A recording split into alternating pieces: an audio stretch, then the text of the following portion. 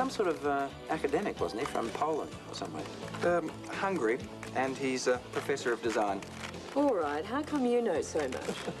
Well, Ian, Carl, I have to admit I did have a bit of help from an expert. Yeah? Who? Can I tell you that's where I was last week? No. With Rubik.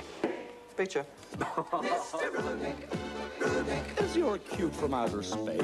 Mr. Rubik, He got three sides, then lost his place. Mr. Rubik, Rubik. He just twists your cube all day. This ain't my idea of child's play. The release of the Cube in 1980 started a worldwide craze that lasted four years, crossing all cultural barriers. The success of the puzzle defied belief, earning Rubik a fortune and also making an equal amount for gangs of international counterfeiters too. A minor publishing boom began around books based on the cube. Presidents were seen playing with it. There was even an official World Cube Championship. And Rubik himself has become the best known name from the Eastern Bloc after Mikhail Gorbachev. The world of puzzles and games had never seen anything quite like it.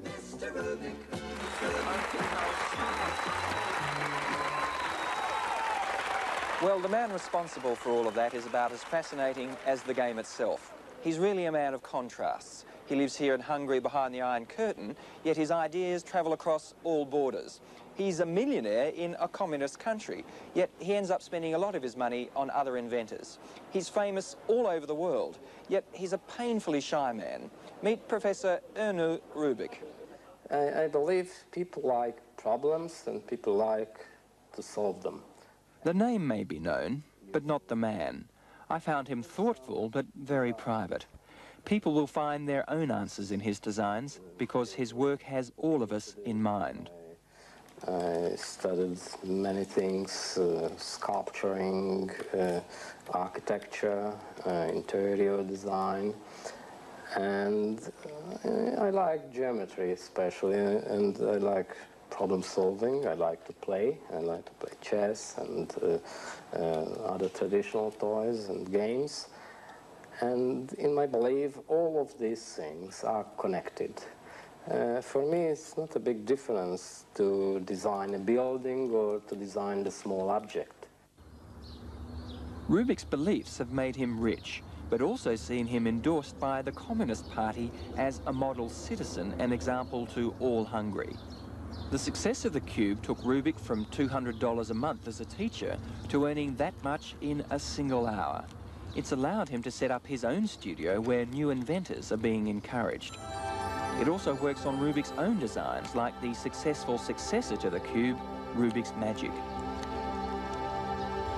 Magic can be flipped and folded into a myriad of geometric shapes and graphic designs.